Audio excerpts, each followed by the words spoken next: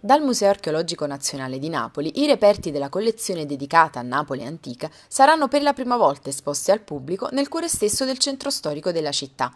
Verrà inaugurata oggi e resterà fino al 15 settembre del 2019 nell'Apis Museum, presso la Basilica della Pietrasanta a Napoli, la mostra Sacra Neapolis, culti, miti e leggende.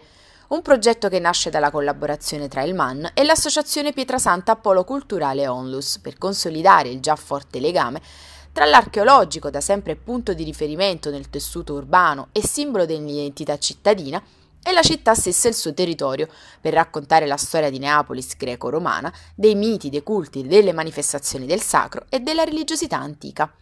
L'associazione Pietrasanta Polo Culturale, ha dichiarato il presidente Raffaele Iovine, vuole rilanciare il proprio impegno per la città grazie al modello di collaborazione pubblico-privato. Da una grande fabbrica ecclesie alla grande fabbrica della cultura, un luogo dove si produce cultura. Oggi presentiamo due progetti straordinari, uno con il Museo Archeologico Nazionale esponendo per la prima volta reperti inediti conservati nei depositi del museo e l'altro per la valorizzazione e la conoscenza del sottosuolo della città con l'Osservatorio Vesuviano.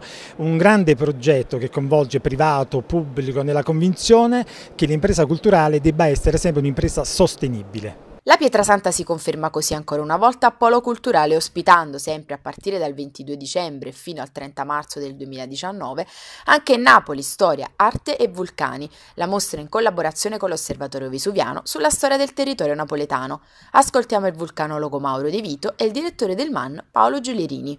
L'osservatorio è da sempre legato a questo territorio, fin dalla sua fondazione, e questo lo si vede nelle ricchissime collezioni dell'osservatorio, ma anche dai, nostri studi recenti. Io mi occupo di vulcani, di stratigrafia, e in questo posto praticamente si può riconoscere, leggere il libro scritto da questi due vulcani.